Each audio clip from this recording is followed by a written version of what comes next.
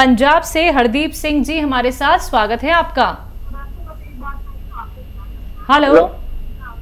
Hello. जी बोलिए। Hello नमस्कार madam. नमस्कार। नमस्कार। हाँ हकीम साहब से बात करनी जी। जी हरदीप जी आदाब। बताइए क्या सवाल हाँ? है हाँ जी नमस्कार हकीम साहब आदाब आदाब। नमस्कार जी। हाँ जी। मैं अठासी वर्ष का हूँ जी एटी एट हम्म। तो मेरे को तकलीफ़ है मैंने क्या कौन मंगाई थी आपसे। मेरे घुटनों में फ़र्क है ठीक है। हाँ जी काफ़ी फ़र्क है। कितने दिन से ले रहे हैं? मुझे मैं एक महीना हो गया जी। अच्छा अच्छा। और क्या सवाल है? हाँ जी। और दूसरा बात ये है जी कि मेरे खाना जो खाता हूँ ना हम्म, वो मैदे में पड़ा रहता है। हजम नहीं होता। और चार पाँच दिन तो लेटर आती नहीं और दवाई के बगैर लेटर नहीं होती। दवाई खाने के आएगी ये एक साल हो गया ऐसे होना शुरू हो गया। हरदीप जी वर्ष की उम्र तक। हाँ जी। एज बता दीजिए। मैं दूसरा नुस्खा एज मेरी एटी एज मेरी एटी एट नब्बे से दो साल कम। ठीक है। अब देखिए गौन से आपको असली मिल गया आपको लाभ शुरू हो गया। ये सौ ग्राम भी आपके पास है तो अपने ख़त्म होने से पहले आपको पूर्ण लाभ दे सकता है। अब दूसरा नुस्खा सुन लीजिए आपकी एज बहुत है। अ, लिख लीजिए आराम से मैं बताता हूँ। देखिए, ये भी ऐसा ही है कि आप इसे अगर ख़ुद बना लेंगे और असली ले लेंगे तो आपको फ़ायदा मुमकिन है। आप सब्र वाले आदमी हैं, दुनिया आपने देखी है 88 आपकी एज है। मैं चाहूँगा आप खूब आराम से लिख लें, चाहे मुझे कितनी भी देर लग जाए। ठीक है? देखिए, सौंफ 200 ग्राम। सौंफ 200 ग्राम और आंवला सूखा मिलता है, वो भी 200 ग्राम, मेथी 200 ग्राम। मेथी 200 ग्राम, और ये तो आपके किचन में से ही मिल जाएँगे। और 100 ग्राम आपको लेना है नमक जैतून जैतून का नमक। ये देखने में नमक जैसा होता है खाने में नमकीन नहीं होता। असली लेना आपकी ज़िम्मेदारी है। इनको पाउडर बनाइए और आधे से एक एक चम्मच सुबह शाम खा सकते हैं। खाने से पहले भी खा सकते हैं खाने के बाद भी खा सकते हैं। और पाँच बार गर्म पानी ज़रूर पिया करें। अगर आप चाहते हैं कि आप अ, हमेशा सेहतमंद रहें तो पाँच बार पाँच बार गर्म पानी पीना आपकी ज़िम्मेदारी है। मैं भी पीता हूँ। बहुत फ़ायदा होता है। बूढ़ापे में भी आदमी जवान रहता है। ये एक ऐसा नुस्खा है जो बिल्कुल मुफ़्त का है। आप इस्तेमाल कर सकते हैं। जी अगले कॉलर भोपाल से हैं अरफा। स्वागत है आपका। हाँ नमस्ते। नमस्कार। नमस्ते। हाँ मेरे को हसीम साहब से बात करना है। जी जी बताइए मैं सुन रहा हूँ। मेरे को है ना गठिया वाय है सर और घुटने हैं घुटने में बिल्कुल चलने की नहीं बन रही मेरे को। उसमें घुटने में से पानी हेर दिया था डॉक्टर साहब ने पूर्णा में। हम्म। तो मेरे को बिल्कुल पानी पैर बिल्कुल नहीं चलता मैं खड़ी तो हो जाती वो हाँ, चलता नहीं है मेरा पैर जी। देखिए ज़रूर चलेगा आपका पैर। दो तीन बातों का ख्याल रखें। तो ऐसे सब लोग चाहे वो डॉक्टर कहता हो, ऑपरेशन होगा, चाहे कहे, वो पानी निकालें, कभी पानी डालते हैं, कभी इंजेक्शन लगाते हैं, कभी इंजेक्शन निकालते हैं। देखिए, आप थोड़ा संयम रख के मेरी बात सुने, लिखें, है? एक तो आपके घर में ये बाथरूम, वेस्टर्न टॉयलेट ज़रूर होना चाहिए। और गौन स्या अगर मिल जाए, असली असली लेना शर्त है। असली मिलेगा तो आपको फ़ायदा मुमकिन है। काला गौन, जैसे कड़वा बहुत होता है और नकली भी बहुत मिलता है। असली लेना आपकी ज़िम्मेदारी। आधा आधा ग्राम खाएँ सुबह शाम। और पानी से बगैर चर्बी के दूध से और शुगर नहीं है तो जूस से भी कभी कभी ले सकते हैं। ये 100-200 ग्राम ले लें, बस इसके ख़त्म होने से पहले आप रोग मुक्त हो सकते हैं। और अगर ये नकली मिले तो बिल्कुल नहीं लेना। तो फिर आप capsule T care, T for tiger, सुबह शाम एक एक लिया करें। और अगर एक महीने में भी फ़ायदा हो जाए तो तीन चार महीने यूज़ करें। आप मेरी उम्मीद में चल सकते हैं। चलिए पंचकुला से अगले कॉलर हैं नीतू। स्वागत है आपका। हेलो। बोलिए। नमस्कार सर। जी आदावर नीतू। सर मेरे ना दो क्वेश्चन हैं। हम्म। एक एक मेरे बेटे के लिए और एक हस्बैंड के लिए। हम्म। मेरा बेटा ना जी सेवन साल का है। हम्म। तो ना इसके ना जी दोनों कानों में इंफेक्शन हो गया है। दो हम्म। महीने से है। और इसके कान में से ना एक बार तो बिल्कुल ही जैसे मैल सी होती है बिल्कुल लाल लाल डार्क सा। हम्म। वो निकला। हम्म। और एक बार इसके कान से बिल्कुल सफ़ेद सफ़ेद सा पानी निकला। तो हम दवाई भी दिलवा रहे हैं लेकिन कोई आराम नहीं है। खुजली भी होती है कान में। और कई बार तो ऐसे बोलता है कि बिल्कुल बंद हो जाते हैं। ठीक है। दूसरा सवाल? हाँ दूसरा मेरे हस्बैंड के लिए है जी। बोलिए। उनकी एज है थर्टी थ्री ठीक है। हाँ जी उनको एक तो यूरिया एसिड की प्रॉब्लम है। हम्म। और एक बीपी बहुत बड़ा रहता है उनका। हम्म। और एक लीवर बड़ा हुआ है। ठीक। इसकी प्रॉब्लम है और रात को नींद भी नहीं आती उनको। बहुत ही कम सोते हैं। दिन में नींद आती है। कभी भी नींद आ जाती है उनको दिन में। ये प्रॉब्लम बहुत है। ठीक है। अच्छा बच्चे की रिपोर्ट्स जो आपने कराई होंगी, वो मैं देखना चाहूँगा। हमारे हेल्पलाइन नंबर से व्हाट्सअप लेके उनकी रिपोर्ट्स हमें सेंड कर दें तो हम इनके लिए कुछ कर पाएँगे बच्चे के लिए। और बहुत छोटा बच्चा है, इसलिए मैं बगैर रिपोर्ट देखे कुछ मैं अपना मशवरा नहीं दे पाऊँगा। आपके हस्बैंड के लिए एक नुस्खा बड़ा अच्छा है। अगर आप उन्हें चार पाँच महीने लगातार दें। देखिए, अलसी आपके किचन में होती है, या बाज़ार से लेना सस्ती आती है, अलसी। इसको थोड़ा सा भून के इसको पाउडर बना दें। और एक आता है नमक जैतून। जैतून का नमक कहते हैं इसे, या रसायन जैतून कहते हैं। ये देखने में नमक जैसा होता है और एस्टेक जैतून इंग्लिश में कहते हैं। जैतून का एस्टेक नमकीन नहीं होता, ये देखने में नमक जैसा होता है। तो एक, चम्मच अलसी जो आपने हल्का सा भून कर पाउडर बना ली है, एक चम्मच सुबह खिलाएँ और इसमें दो चुटकी, ये नमक मिलाकर खिलाएँ। सुबह और शाम खिलाना। और ये मटेरियल ख़त्म होते होते आपके पति को फ़ायदा मुमकिन है। जी जयपुर से अगले कॉलर कमला सक्सेना जी स्वागत है आपका। नमस्ते मैडम। नमस्कार।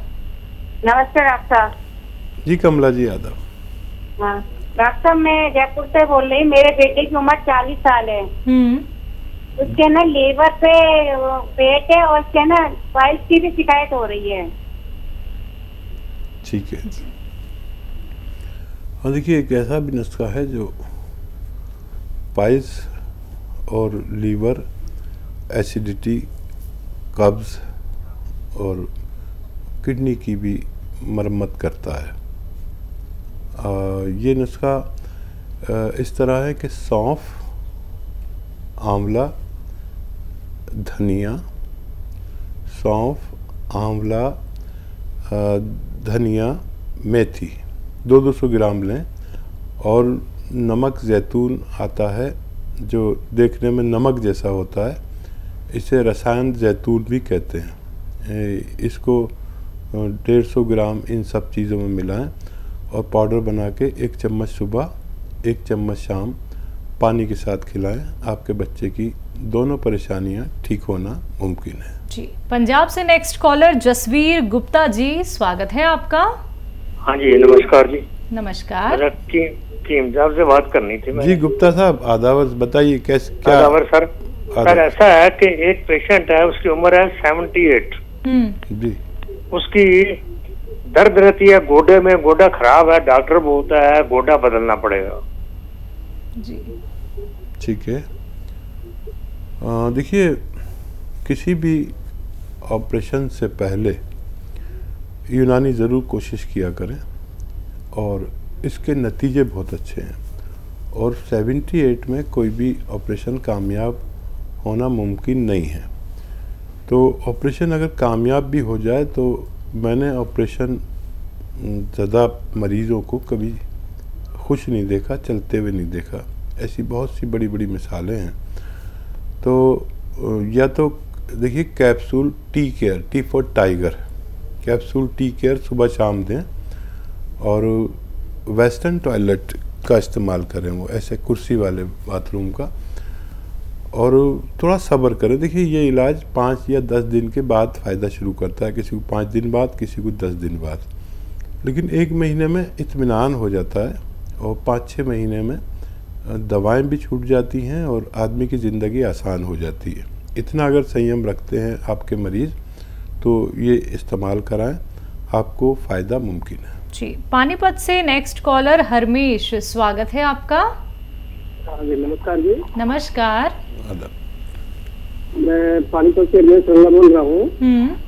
तो मेरी माता जी की एज है पचहत्तर साल। ठीक है। उनको गाल ब्लेड में और सीबीडी में स्टोन हो गया था हम्म। एक साल पहले।